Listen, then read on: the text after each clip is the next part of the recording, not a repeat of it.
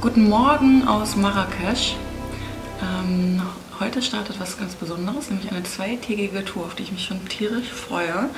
Es geht über ein paar Wüstenstädte und Sehenswürdigkeiten direkt in die Sahara, inklusive einem Kamelritt und einer Übernachtung in der Wüste. Und da will ich euch wieder mitnehmen, weil ich glaube, dass das wirklich ziemlich cool wird. Und äh, wie könnte man so einen Tag besser starten als äh, mit einem marokkanischen Minztee, die ich, obwohl ich in Deutschland überhaupt gar keinen Minztee mag, hier total gerne trinke. Das könnte wohl daran liegen, dass da so viel Zucker drin ist. Vielleicht ist das, äh, der, vielleicht ist das äh, der Tipp oder das äh, Geheimnis darum.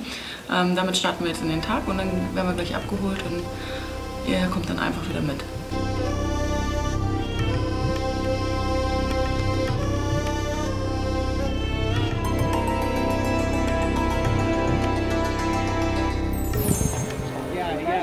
Wir machen gerade den allerersten Stopp auf unserer Tour. Ich konnte euch, äh, ich habe euch im Auto noch gar nicht gezeigt, wie es so aussieht und wo wir langfahren, weil wir direkt so viel mit dem Guide gequatscht haben. Der ist wirklich nett und äh, haben über alles Mögliche geredet, über Religion und über Marrakesch und über das Land und Mieten und über was man halt so redet. Hier gibt es genau die gleichen Probleme wie bei uns am Ende nämlich auch.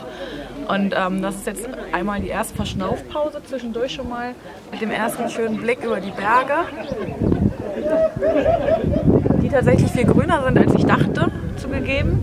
Und von hier aus geht es weiter. Ein paar Stops erwarten uns noch und ich versuche jetzt auch gleich mal ein bisschen für euch die Fahrt zu filmen, dass ihr einen Eindruck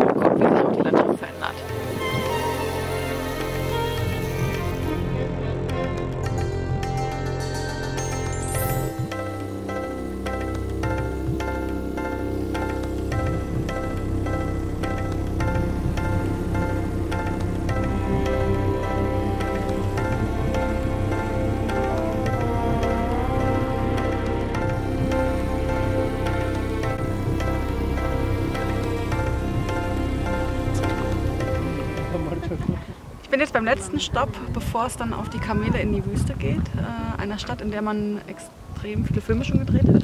Und äh, warum das so ist, zeige ich euch auch gleich noch. Wenn ihr nämlich die Gebäude seht, dann werdet ihr es verstehen. Äh, Mission Impossible 5, äh, Der Gladiator und unzählige andere wurden hier gedreht. Und wenn man das so sieht, dann denkt man auch wirklich, es sieht auch direkt aus wie aus dem Film.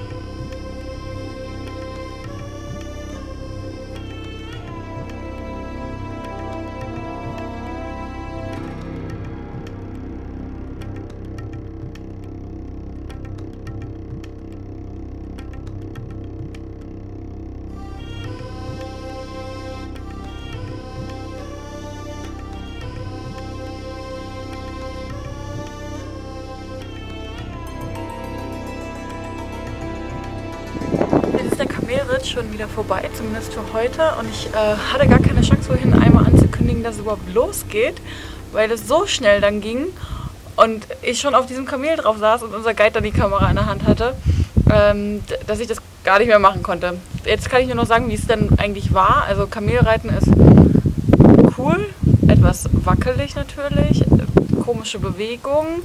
Das dritte Kamel im Bunde hat auch ständig irgendwelche komischen Geräusche gemacht. Das, ich wusste nicht so ganz, ob das jetzt gut oder nicht gut ist. Und jetzt nach einer Stunde, anderthalb, äh, habe ich glaube ich total die O-Beine. Die Oberschenkel sind ganz gut gedehnt jetzt. War aber auf jeden Fall ganz cool, auch wenn wir hier nicht so mittendrin sind in der Wüste, sondern eher so an, am Anfang der allerersten Dünen.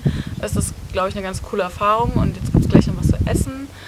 Wie ihr seht, ist das Camp auch irgendwie ganz nett gemacht. Und ich äh, bin gespannt, wie der Abend noch so wird. Und äh, dann morgen vor allem der Sonnenaufgangsritt. Ähm, da gibt es dann auch noch mal ein paar Eindrücke für euch.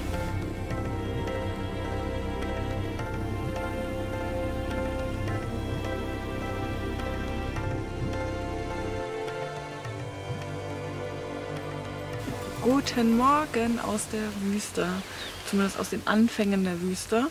Hier sind ja die allerersten Dünen und äh, bei denen gibt es natürlich auch einen wunderschönen Sonnenaufgang, den ich euch nicht vorenthalten will.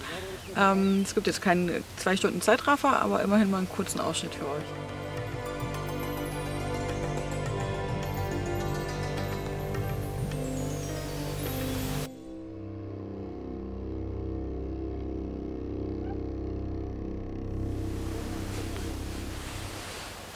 Und was ich euch auf jeden Fall auch noch mal kurz zeigen möchte.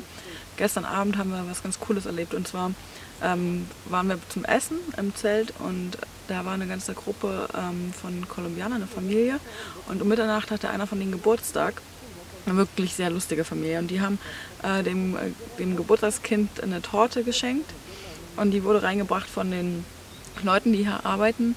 Ähm, und dann wurde viel, viel getrommelt und viel, viel gesungen und irgendwie sowas wie getanzt. Also ich weiß nicht, ob man das, was ich da gemacht habe, tanzen nennen kann, aber sowas in der Art haben wir gemacht. Und ähm, die Kamera war schon auf dem Zimmer leider, aber wir hatten immerhin das Handy dabei und konnten ein paar Sekunden, also wirklich nur ein paar Sekunden schlechtes Handymaterial, aber immerhin äh, vom Trommeln mal aufnehmen und das wollte ich euch jetzt nochmal einblenden. Film ab.